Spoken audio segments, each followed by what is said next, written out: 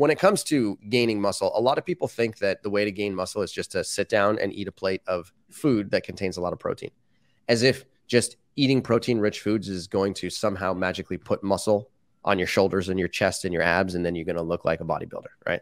A lot of people have this perception that muscle is built on your plate. And the answer mm-hmm. is muscle is not built by simply eating foods that are rich in protein. It's also not built by eating uh, excessive amounts of calories. That is something that you can do to gain mass. But if you're looking specifically to gain muscle, then you're going to have to do something else first. And that other thing that you have to do first before you just sit down and eat food, you have to use your musculature to induce a state known as hypertrophy. Okay. And hypertrophy effectively means a complicated biological super nerd term for uh, using your musculature and creating a state of uh, advanced uh, muscle. When you get into the hypertrophic state, you're using your musculature to a point where it now has to adapt in order to become stronger to resist that same amount of work the next time.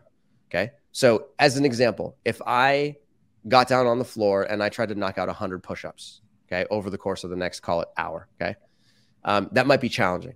So, if I were to tell you your goal is to try and knock out 100 push ups, you might be like, oh, 100 push ups? I haven't done 100 push ups since high school, right? Okay. If you were to try and do that, what would end up happening is that your chest muscles, who haven't been used for a long period of time, would, over the course of that 100 push ups, go into a hypertrophic state, meaning that you would put so much work into them that they would eventually get to a point where they were experiencing micro tears. And then those micro tears have to get repaired. And when those micro tears get repaired, then the muscle becomes stronger. The muscle becomes stronger. You then continue to eat more food. That food can then repair the muscle tissue and grow the muscle tissue. And then you can end up gaining weight over the course of time. Okay. So hypertrophy must exist first and then you can eat food.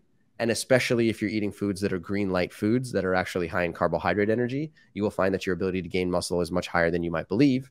And as a result of that, inducing hypertrophy plus eating a low fat, plant based whole food diet can be a very powerful combination for gaining mass and for gaining muscle.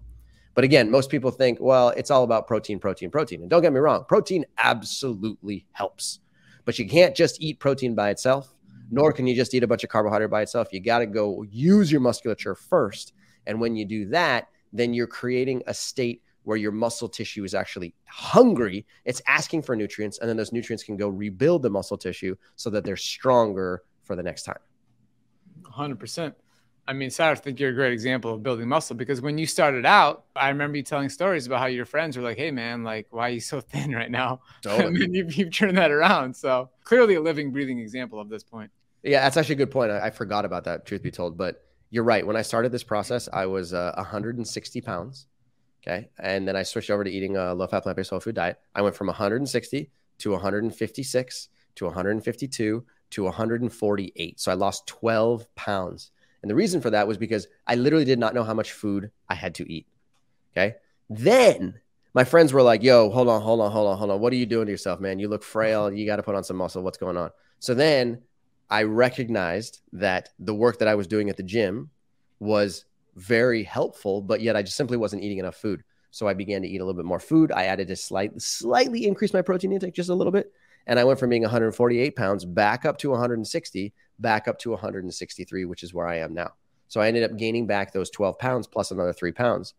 As you can see, the photo of me on the screen right here was made by uh, artificial intelligence. I don't look anything. I'm just kidding.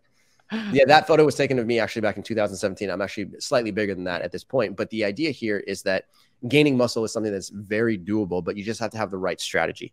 You have to go make sure you use your musculature first, and then you have to refill the calorie tank that you depleted. And when you do it that way, you can certainly gain mass. And if you're consistent about that and you're doing that multiple times per week without injuring yourself, you can get to a point where you're making significant gains in both mass as well as muscle tissue. And that right there is a good thing.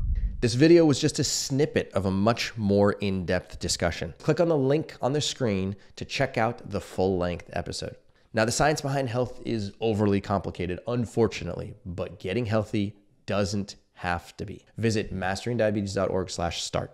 Answer some questions about yourself and schedule a free consultation to talk with somebody on our team who's going to show you exactly how we've transformed the lives of thousands of people using the Mastering Diabetes method. We have a limited number of spots available, and that's why it's imperative to find a good fit. Again, visit masteringdiabetes.org slash start to schedule a free zero commitment discovery call and start taking control of your health today.